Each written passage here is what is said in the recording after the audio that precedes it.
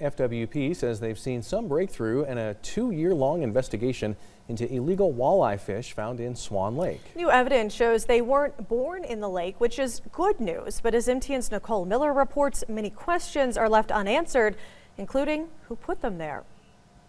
Montana is home to some of the finest sport fisheries in the world, and they generate millions of dollars in revenue each year.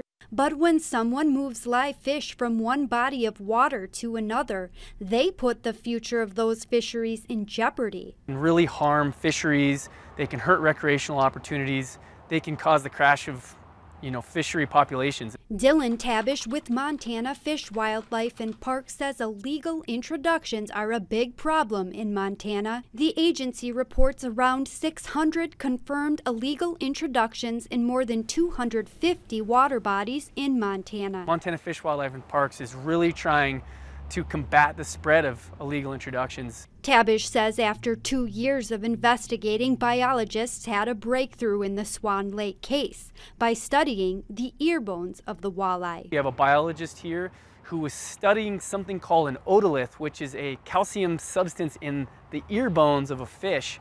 And so he studied those walleyes otoliths and that was able to trace where this fish had come from. He says biologists determined the two walleye were originally from Lake Helena. Tabish says learning they weren't born in Swan Lake was good news. That shows that these two fish, at least, were not born in Swan Lake, which hopefully means that a, a population has not been established yet.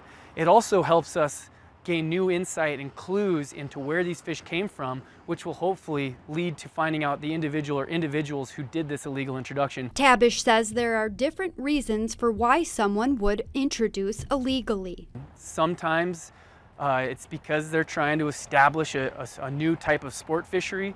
So potentially this was someone who wanted to be able to go fish for walleye on Swan Lake. And there's a lot of great walleye fisheries across the region and we would like folks to stick to those ones, not creating new ones. Reporting in Bigfork, Nicole Miller, MTN News. A reward upwards of $35,000 is being offered for any information leading to a conviction. If you do, you're asked to call 1 800 TIP MONT.